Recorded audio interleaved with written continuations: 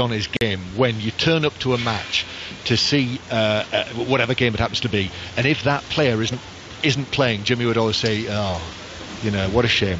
I'm not going to be able to see." And I think it's like that with De Bruyne. I think he's a better tackler than Paul Scholes, isn't he? Daddy, got no comment on that? Scolding did it deliberately. I'm telling you, he used to dive in. It, it was well worked. He used to sit in training, England training session. He would dive in two-footed. People would jump, and the ball would run off to obviously it was United. It would be Keane or Butt, whoever it was, and someone else would pick the ball up because you didn't get booked for that sort of that intent, you know, or uh, trying to do somebody back then. You got away with it all the time. He was he was a lot cleverer at tackling than people gave him credit for. Uh, absolutely. Uh, quickly, Scottish Cup results today: Livingston nil, Falkirk one, and Peterhead two, Dumbarton three. Great to get live reaction down here from Kevin De Bruyne and Marlon Pack. So as far as the Phil Neville story is concerned, listen, that's going to develop and run, and lots of you getting in touch, and there's going to be plenty more reaction to it. Whether people think it's a good idea that Phil Neville's got the job, whether a man should have the job at all in charge of the women's team, we will carry on talking about that on Five Live. Uh, Danny, thank you very much indeed. John, thank you to you as well. Manchester City through to the final of the League Cup, and they'll play Arsenal Chelsea second semi-final tomorrow night. Mark Chapman will be at the Emirates for that, and Flintoff Savage and the ping pong guy is on the way in a couple of moments' time after the news with Alison Hughes here on Five Live. On digital, online, smartphone, and tablet. This is BBC Five Live. Scotland Yard's investigating a fresh allegation of sexual assault against John Worboys, who was jailed in 2009 for drugging and sexually assaulting a series of women in his taxi. The claim was made this month but dates back to 1997. Our Home Affairs correspondent is Danny Shaw. If this allegation is taken seriously and is credible, there's a possibility, if police act very quickly and if prosecutors act very quickly, that a charge could be brought. And if that happened, then clearly that would potentially stop Worboys being released. Boris Johnson has been criticised by Theresa May for going public with his call for the NHS in England to get an extra £100 million a week after Brexit. The Prime Minister told the Foreign Secretary discussions about funding should be held in private. Sainsbury says it's cutting thousands of jobs as part of a change to the way it manages stores. It comes a day after Tesco said it was shedding 1,700 shop floor jobs. A court has heard how a man accused of mowing down worshippers outside a North London mosque in a van last year has told people he was a soldier and was going to kill all Muslims. 48 year old Darren Osborne, who's from Cardiff, denies charges of murder and attempted murder. The US Attorney General Jeff Sessions has become the first member of President Trump's cabinet to be questioned over alleged Russian interference in the election campaign. He met the former Russian ambassador to the United States on three occasions during the campaign. The Shape of Water is leading the Oscar nominations with 13. British actors Daniel Day Lewis and Gary Oldman are among the nominees for Best Actor, while Christopher Plummer is up for Best Supporting Actor for All the Money in the World, after he replaced Kevin Spacey in last minute reshoots. Here's our entertainment correspondent, Colin Paterson. Rachel Morrison has become the first woman in history to be nominated for cinematography.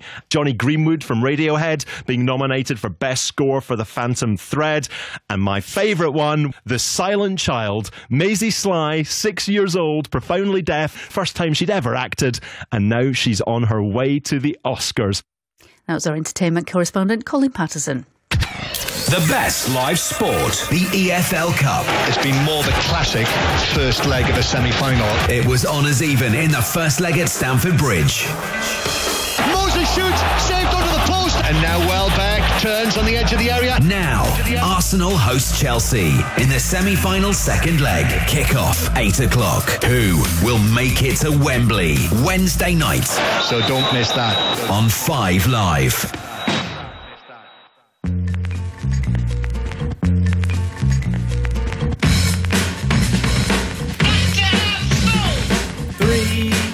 That's a magic number. Yes, it is. It's the magic number. What does it all mean? Hello and welcome to Flintoff, Savage and the Ping Pong Guy. That's me, Matthew Syed. We're back with another set of meaty topics. First, we're going to discuss big issue this work-life balance. Then we're going to talk about what is the hardest and most skillful out of our respective sports cricket, table tennis, and football. Remember, you can use the hashtag FredSavSyed to suggest future topics for later shows. So let's talk about work life balance. All of us do jobs I think we really enjoy. But what about spending time with the kids? What about spending enough time with one's wife? How do you get the balance between being very professional about the job you do on the one hand, and many people listening will work long hours, very long hours, some people only a day off each week. How do you get that balance right? We've been discussing it a lot off air, thought we'd give it a go on air. Fred, you're probably the busiest out of all of us. Really? I'd say so. Variety of jobs. Variety of jobs. It's a, it's, it's a tough one because I'll be honest with you. I think in the past few months I've not got that right. Yeah. Um, and it, it's, it's it's hard because you're in such a fortunate position. Yeah. Where there'll be people listening, and they'll think about their jobs, and they'll think, you know what? I've not got my work life balance correct, but don't really have a choice. Yeah. Because they work so hard to provide for their families, and it's not getting the luxuries of things or things they don't need. It's the actual crux of life and the actual things that their family needs. And they'll work long hours and they'll wish that they're taking the kids to football on a Saturday morning or they'd be able to do the drop off or the pick up from school. Yeah. Um, well, I think the three of us are in a different position. I think we're more fortunate. I think we have got more choice. Yep. And I think in the past few months, I think it's coincided with turning 40. I think it's coincided with a lot of things and the work I've taken on. I taken too much on. Hmm. And then you think about some of it, and I don't need to do it. But there's that fear. I, I think the biggest thing is the fear of missing out on something. Yeah. It's the fear of not taking a job and then not getting another one.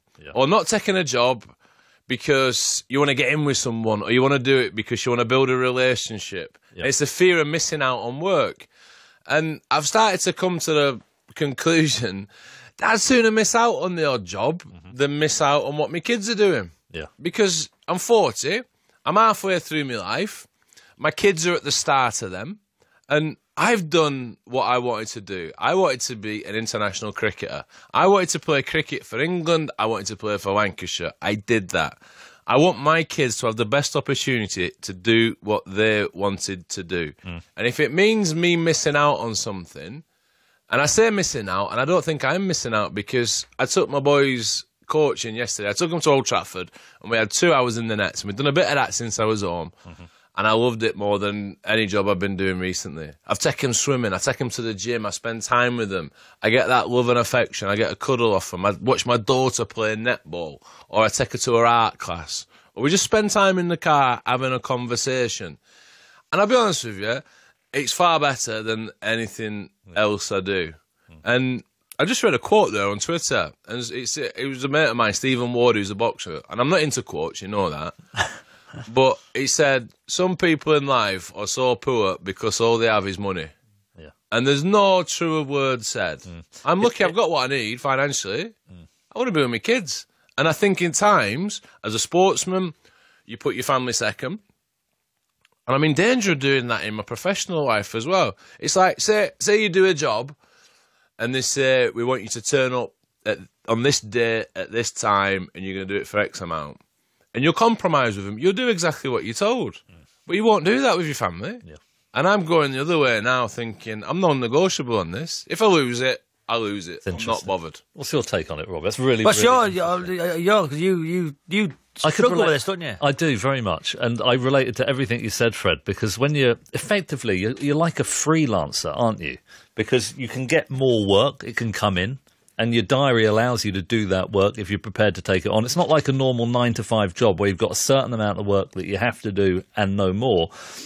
And you were saying you feel that you're going to miss out if you don't take an opportunity. Maybe they won't ask you again. The other thing I think, it's quite flattering when somebody Yeah. picks up the phone and says, "We'd like you to come and do write an article or go and give a speech or whatever other event it happens to be."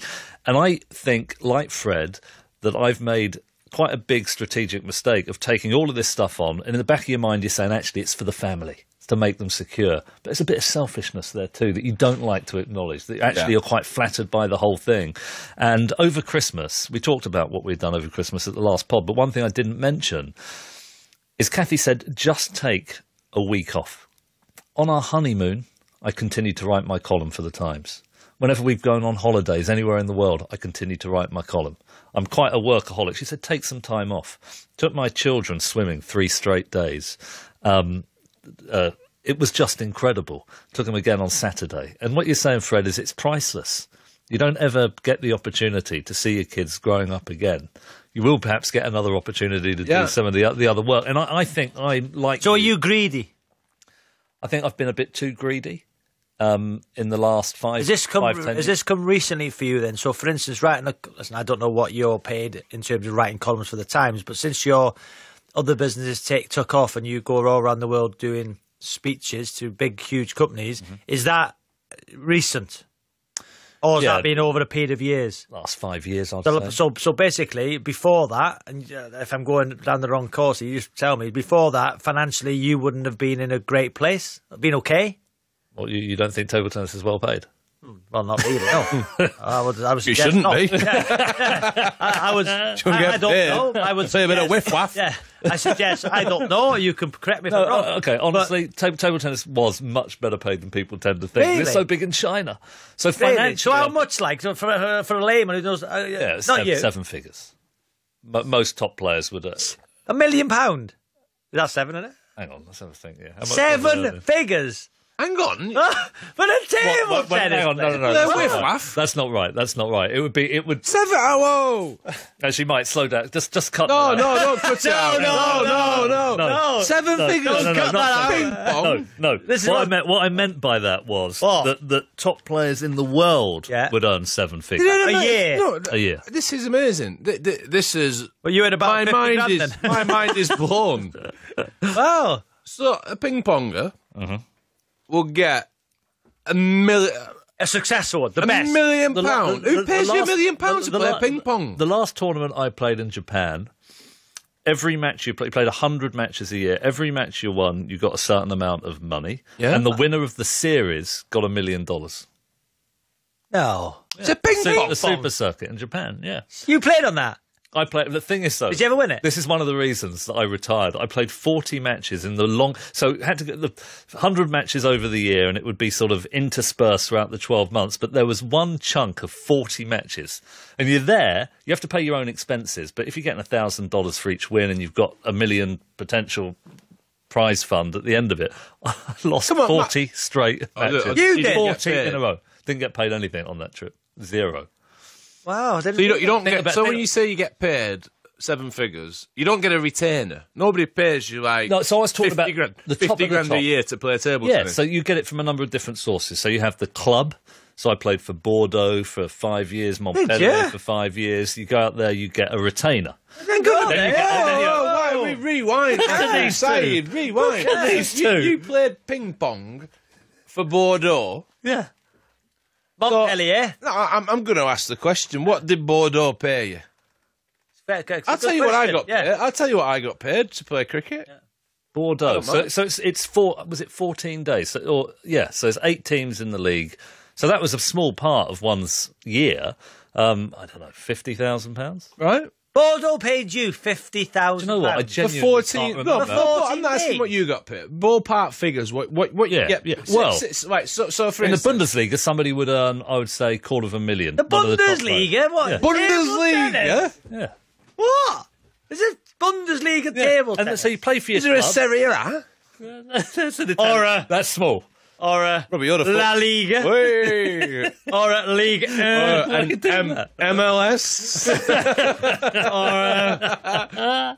or a what, Rob? You're a football. or I a, can't think of any other league. or a Or a. League One. Oh, yeah, yeah, yeah. League Two? Back to your roots. So, so, that's, so that's fascinating. But yeah, so you, you, you'd get money on the, and then there'd be the international pro tours, ITTF pro tours. These are organised by the world governing body, and that would have, I don't know, the top prize would be fifty thousand dollars. So, how, how many teams? So, if you say, say, for instance, relate it to cricket, right? You're a cricketer. Yeah, So, like, say, say a cricketer, a top one in county cricket. Let's say he earns hundred grand. yep, right? He's fortunate enough to get a contract in the IPL, and then say he earns quarter of a million dollars. He might get another hundred thousand dollars in the Big Bash, Right. similar in whatever. So he's traveling the world, playing all these, and he's England money. Yep. So it all starts accumulating. exactly. So for a ping ponger Yeah. to start, say, say you're you're a good ping ponger, right? You're, you're you're top of your game. Yep. How many teams are you going to play for?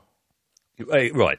So you play for the national team Yeah, in how much do you get? international competition. So that will depend How much on would how an much international pri- ping ponger get now? well, it depends on if you're winning the Pro Tour events. But if you win, I think the World Cup prize money must have been about fifty thousand dollars for the winner. Right. Then you play in the sponsored events. I played in competitions in America, the Sears Classic and the Did ya? Killer Spin tournament. Killer spin, You know, then you play for then you play for your killer spin tournament. then you play for your club. Oh. Then you play for your club. Is that That could America? the Bundesliga or French league. The Killer The Spin, Killer in America. America, Chicago. Madison Square Garden. Where? That- Full house. Chicago. That was in Chicago. You played in all these. Do you know before one of the Killer Spin events, we went out to the we went out and Killer but you know the the NBA, the Chicago Bulls. Yeah. Yeah. During the half time, we did the exhibition. We did an exhibition did? in front of the yeah. Who pulled out?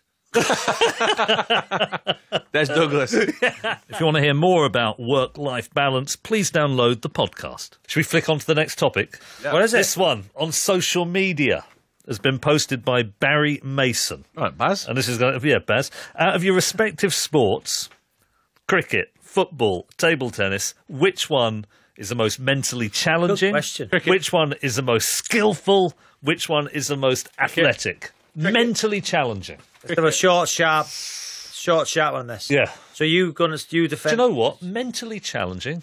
I'm going with cricket. And the reason I say that is How? because, I'll tell you why. You could be a fantastic batsman. You could be in the form of your life, and you might get an unbelievable. Could be 3-0 down, and instead- the- the hang final two tests don't matter. And instead of go past the outside edge, you get a nick. Then you have to go back to the pavilion. You have to wait for your next innings. Could be a day, could be three days, might be two weeks. Yeah. And you've got to dwell on it. You've got to ruminate on it. I think as a batsman, that is mentally extremely. What about a challenging. I think footballer? As a bowler, a you could be you could be A roaring. might have a bad game, and he's, he's he's a footballer, a football manager could be one game away from the sack. Oh, grid management is difficult. We're talking Talking about, about the sport itself, Oh, the players. part By the the- way, part Fred the could go and have a, the, the best spell of his life and keep going past the outside edge without getting the nick. Oh. and he's got to tell. I My think fault. The amount of. Oh, I agree, but I think that is mentally tough. What about foot, football? You get told where to stand. If you're a defender, you can't go past a certain line. That's where you Hang go. on, hang on, hang But on. You're running a little box. Hang on, hang on. Talk about a striker. He can't run back. things were hardest, most skillful, most athletic. He's playing in soccer aid. He has he's he's on the treadmill. He's he asked me for tips how to control the ball. I've not asked that. But if I was out of all the people that I know, if I was going to You ask just see him in someone, the gym. He's pathetic. I he's on the treadmill. I reckon- He's no. Rob, he thinks he's, he thinks he can play a centre half. if I if I Pathetic. if I was going to ask someone how to control the ball. In my phone, there's probably 10 people I'd ask first. Oh, I'll say I'm doing it right then. I'd ask Jamie Redknapp first, Paul Dickov, Sean Porter. I'd ask Eddie, who's 80 at the gym. so you're talking about mentally. Men- come on, Men- cricket is mentally tough. mentally, okay. Cricket, so cricket mentally- always is a mental game. yeah, it is. mental, but mentally as a footballer, the, the scrutiny on a, on a footballer now, especially in the Premier League, is if if so the Aston team just got hammered, hammered, yeah. Yep. We forgot about it already. If a footballer has a shocker, it's it's in the papers for the next two weeks. So mentally, for a I footballer, reckon- it's much tougher. I reckon you're the easiest here. What? Right. Easiest. But because you, you stood in a you stood on a field, right? Hang on, hang on. Waiting you stand on the field for three days at times and don't move on third leg. Tell you, But if it's how, how, third ment- man. how mentally challenging's that? Well, you, you, No wonder I'm on pills. You can't say you just stand there. right? So, so you stood there waiting for the ball to come, and you're running around in your little formation, Yeah. waiting for the ball, and then you, you get it, and you got to kick it, oh, at least ten yards to someone in a similar shirt. to me, that's not mentally taxing. Shush, Matthew. Of course it is. I reckon table tennis is. It's tough. Yeah. Yeah. What? Because because right. Listen to this. Take take the fact that nobody's interested. Right? Yeah. Take that out of it. Got that. Right. If if you're a table tennis player or a ping ponger, as I like to call, then that is your that is it's you. That is your Yep. that is your world. It's just you on your own. You've not got the backup. If I say, for instance, I never thought like this, but if I don't perform, my team has still got a chance because somebody else can come in. If you don't perform, You can hide in football. I've seen them do it. So you, you got all these other people around you. Ping pong, Nowhere to it's hide. just you. And he's mentioned before about the. He's mentioned about cash. If you don't win, you don't get paid. Ping pong, you can play in your garage. How can that be mentally tough? Hey, table tennis. You can Play play football in in your spin. garden. Let's not start that. Yeah. You use a ball. You can't say Put table your jumpers down. So, off you go. mentally Think, think about tough this. is Think about table this. The ball travels. Cricket, Freddie can bowl at 90 miles an hour. They can hit the ball at 100 miles an hour. You're only- Danger, danger You're only, you're only a few feet away from your opponent. Reactions, spin. You're on your own. There's nowhere to hide. Mentally, it's tough. By the way, the margin of error is so small in table tennis as well. You know what it's like. Oh. You have to get the angle slightly wrong. it. Goes off the side of the table. In football, you can play the oh, okay, mentally, mentally, you're always one tackle away from a, uh, ending your career. Yeah, that's that is tough. Who is? Well, you football. could be. I broke my leg. I didn't know if I was going to ever play again. One, you every time you step onto that football field from the age of Don't start playing that yeah, game. no, you are It's an one ball coming at you your are man at one- 100 you- mile an hour. You are Don't one. play yeah, that fair game. point. Fair point. Fair point. And there's in table tennis, there's a plastic ball coming at you, which is about that big. mentally tough. It has to be in terms of the Premier. I'm talking about Premier League. There is life outside the Premier League. Obviously, I think as a footballer, the higher you go, the mentally tougher because the scrutiny in this day and age on social media is I so tough. I reckon the lower down the Okay, leagues. what? Who's it been harder for mentally? I'm just picking out Wayne Rooney or Joe Root. What recently? No, just in, in, in their careers. Joe Root. No chance. No chance. That is one thing, Fred, you have to acknowledge. Footballers, they do one thing wrong. It's on the back pages. Even if it's quite a trivial thing. Well, what was let- it? Was it let- De- let- let's- Robbie? let's not- Robbie, was it Dele Alli who flicked a finger at somebody in, in, in his own team, wasn't it? It was Dele Alli. I think it was. who- who yes. flicked the- That was like, it wasn't just the He back was joking. pages I think he one was. I think he was, he said he said he It was, was a joking. joke. He was yeah. doing it as a joke. It was on the if he back did that page. in cricket, if an England player did that, they'd be everywhere. Look at Ben Stokes. And this is some trivial gesture to another player as part of a joke. It wasn't just on the back page. It was a, it was a biggest story for a week. It was like this massive national debate over this teenager or this young man. Hang on a minute. Dele Alli's flicked the bird in jest to his mate. Yep. And it's in all the newspapers. It was the biggest story of the week. Oh wow! So Deli Deli Deli Dele Alli. Why'd you put a funny voice on? Because I'm trying to stress my point. Right, so Dele Alli It's flicks, a flat, flat earth here, you know. Wow. You're losing battle. He was, he was So vilified Alli all across the- social media. flicks the bird to a teammate in jest. They oh, all have a giggle. Oh, Deli, you little card, you're a wagyu, Deli, aren't you? Right? Gets picked up by the newspapers. You know what it's like. Yeah. You go in the dressing room the next day, they've all got the newspapers. He's having a laugh about it. The rest of the team are having a laugh about it. He gets in his Bentley, goes home to his 10,000 square foot house. I'm sure that. Five thousand short, smaller than yours. Well, I'm a bit, I'm a bit older than him. But, see what? I, I, I think that is a I think that is a bad analogy. I, Yeah, think, I, th- I think the Wayne Rooney, I, Wayne- I- think the Wayne Rooney one's better Yeah. than Dele Alli flicking Yeah, Wayne. Rooney has a fl- go on. Mentally tougher then. Yep. Mentally tougher. Playing international football for England, England cricket, England football, or England table tennis. What's Football. mentally tougher? Football. Football. Football? Why? Nothing's What? expected of you. You rubbish. don't, I think that if you're in the England team and something goes wrong, football, at a World Cup, you become a scapegoat. Look They're what not happened- bothered. Oh, they. I think that is difficult. When So- you think when you think about Chris Waddle, what's the Beckham, first thing that Beckham, comes into your mind? 98. Beckham. Beckham, burning, Oh, get him on burning effigies, burning effigies. Yeah. Got I'm set so- I- You had to get escorted squad. into Yeah. away grounds under sorry, armed guard. I'm Yeah. sorry, you can't budget for stupidity. wasn't even that bad a challenge. Wasn't bad on a challenge. Silvio. Sent off. Never you can't have budget for Yeah. stupidity. I, th- I think that, that So you agree in football's no, mentally no, no. toughest? I, th- No. I think cricket is is a No. is a tougher game in the sense that They stand. They have sandwiches. That's how off- tough it is. We need, to, we need to eat. for lunch. That's how tough Hey, it is. and what- We have what to- did he got? He got we a have to- three-course we have to- meal have at to come Lord's. off after You two stand hours. there. We have to come Yeah. off for two hours and comfort eat. You stand that- there. It's, it's Mate, that challenge. Let's take cricket. I think let's just for, take I think playing cricket. for England. Mentally But tough football is- cricket. yeah. You go in, if you're a batsman, you can sit in a dressing room with all the TV. I see him in the uh, Lords, whatever, the feet up, eating crisps or whatever, watching TV. You go into bat, you're out. You've got lunch. Sandwiches. On- on- then on- in your field, you stand in a field for the day and a half. Mentally tough. And you, and you don't even play if it rains. Mentally You tough don't even football. play if it rains. Mentally tough football. Rain, you come in. Best game of your You life. can't play in the rain. You just ran round next to someone. You can't ran round next to Frank. Yeah. You didn't even get the You ball. can't Tell me that's difficult. in Following. the rain. You played follow me leader.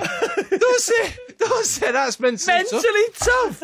tough. This is like on, only thing I can equate it to. Sat in the dressing room, and I, I'd, have, I'd have something to eat. They used to fight. They used to feed the gladiators in ancient Rome before they went into the Col- Colosseum. That's what it's like. You walk in, you're on your own. You walk out there. You don't know what's going to happen. You got some bloke snarling at you. He's got a hard cricket ball in his hand, not a pig's bladder. See. A hard cricket ball, a corky, a Basically, corky. well, basically, if you're no good at football, you decide to be a cricketer or a table tennis player. No, you That's don't. what it is. It No, is. What happens is if you're no good at school, you decide to be a footballer.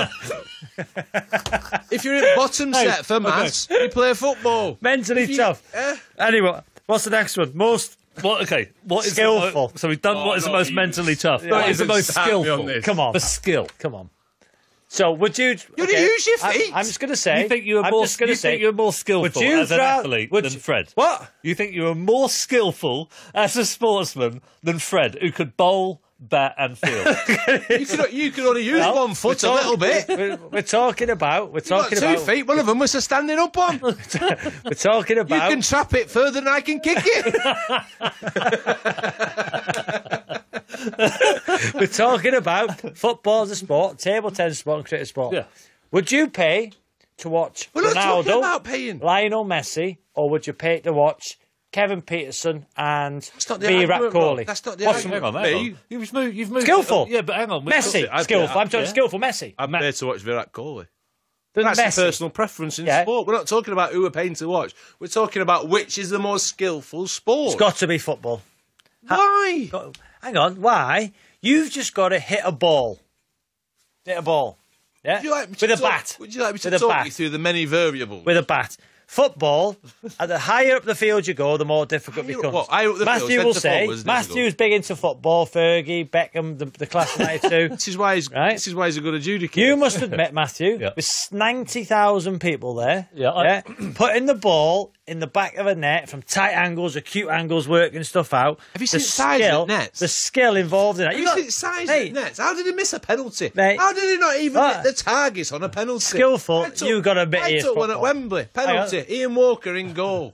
just, just slotted it inside net. I'm going no football, Problem. you're going cricket. Side foot it. Why is cricket more skillful? Where would you like me to start? Anywhere, Anywhere. quickly.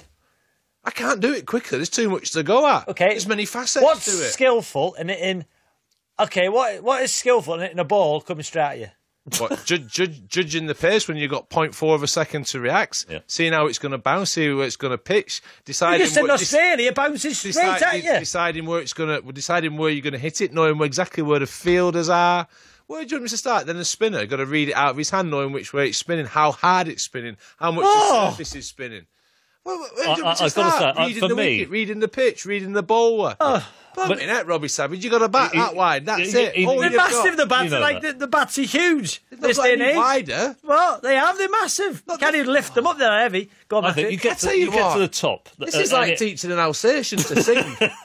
I heard you on that musical you done.